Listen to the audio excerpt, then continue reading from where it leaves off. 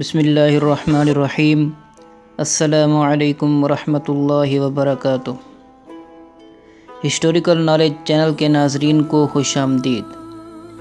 आज हम आपको बताएँगे एक तारीख़ी लफ्ज़ जो कि तुर्की में अक्सर ज़ेर इस्तेमाल रहा है और तुर्क सदर भी इस लफ्ज़ को बार बार इस्तेमाल करते हैं। वो लफ्ज़ है कज़ल एल्मा। तुर्क ज़बान में कज़ल एल्मा आखिर किसे कहते हैं? ये इतना मशहूर क्यों है? और बार बार तुर्क सदर इसका तस्करा क्यों करते हैं? कज़ल एल्मा दर हकीकत तुर्की ज़बान का लफ्ज़ है। कज़ल, जिसको किरमज़ी भी कहा जाता है, उसका मतलब है सुर्ख। और कदीम तुर्की में कज़ल का मतलब सुनहरा लिया जाता है।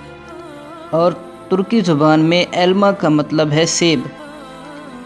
इसी तरह कज़ल एल्मा का मतलब हुआ सुर्ख सेब या सुनहरा सेब।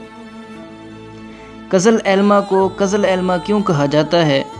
हम अपने नाजरीन को इसके मुतालिक मुख्तसरन बताते हैं कि कज़ल एल्मा कुस्तुनतुनिया में मौजूद एक मुजस्मे को कहते हैं, जो कि एक बादशाह के नाम से मंसूब था, जिसका नाम कुस्तनताइन था और इस मुजस्मे को कज़ल एल्मा इसलिए कहते हैं क्योंकि इस मुजस्मे के हाथ में एक सुर्ख गलोब नुमा एक चीज़ थी, जो कि ऐसा महसूस होता था कि उस मुजस्मे ने एक सुर्ख सेब हाथ में पकड़ा हुआ है, इसीलिए उसको कज़ल एल्मा कहते हैं। कज़ल एल्मा चूँकि कुस्तनतुनिया में था और कुस्तनतुनिया बिजंतीनी सल्तनत के ज़ेर निगरानी था और कुस्तुनतुनिया को फ़तह करना एक ख्वाब समझा जाता था। और सल्तनत उस्मानिया के हर सुल्तान की यही ख्वाहिश रही है कि वह कुस्तुनतुनिया को फ़तह करे और इस्लाम का झंडा उस पर लहराए। कज़ल एल्मा को फ़तह करने का मतलब पूरी दुनिया पर हुकूमत करना मुराद लिया जाता था।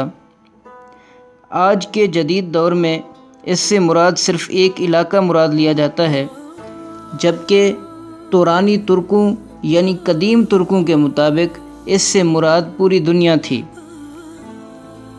इसी तरह सल्तनत उस्मानिया के सुल्तान मोहम्मद फ़ातिह का जब दौर आया तो एक उरहान नामी एक बरतानवी नौजवान, जो कि सुल्तान मोहम्मद फ़ातिह के दौर में उन तक पहुँचा, उसके पास एक ऐसी तोप बनाने की तरकीब थी जो दस गुना ज़्यादा वज़न उठाने और फेंकने की ताकत और क़ुवत रखती थी और बड़ी से बड़ी दीवार को मिसमार करने की ताकत रखती थी। और फिर तारीख़ ने देखा